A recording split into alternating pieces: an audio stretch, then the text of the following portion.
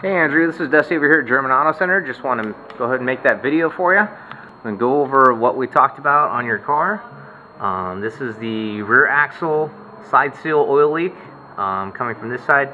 You can kind of see this is uh, it's developing uh, a small drip from this side. Um, on the driver's side, it looks like it's just sweating around that area, so it's not too big of a concern. And on the back cover side, it's usually what's the, blowback because it's uh, as you're driving down the, the road there is blowing all the oil that's dripping from that side back across the, the rear section of the diff. So that's where you're seeing that.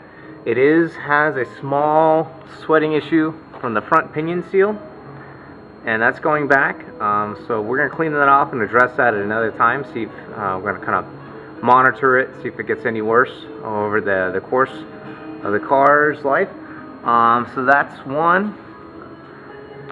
And then we have the other one. This is the driver's side of the car, and that's the oil stand right there. That's the bottom bolt for the uh, the whole the whole oil stand right there that you're looking at. That's where the oil is coming down the side of the block and down into the oil pan area, and then obviously going back, uh, back of the car. Um, so that's one issue right there. The other issue, which was the valve cover gasket area, you get a leak from there. Um, you can see it's coming off the Vanos solenoid at that point. And it is, this is the lower hose right here, coming down and and uh, onto the lower hose. You can see the oil residue is running down the backside of it. Uh, this can cause a swelling issue and possible rupture in the future. So we're to address that now so you have no issues with there and then this is obviously the, the bottom side of the radiator on the tank. So there's a small coolant drip right here. Um, this is just something for the future that you might want to address or keep an eye on if you have a uh, little coolant light come on.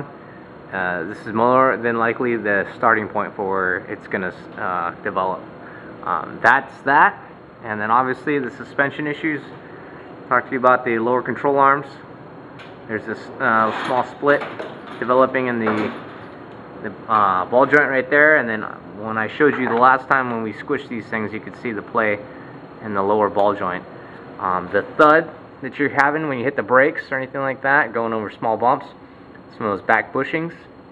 Um, so those things just you tend to wear out. They lose the, the, the ability to kind of keep tension on the control arm. So over time they just wear out and they allow this thing to flop around. So those are the, the main issues we talked about, and uh, hopefully we can keep this for future reference for the next time. Um, we'll keep uh, an eyeball on everything.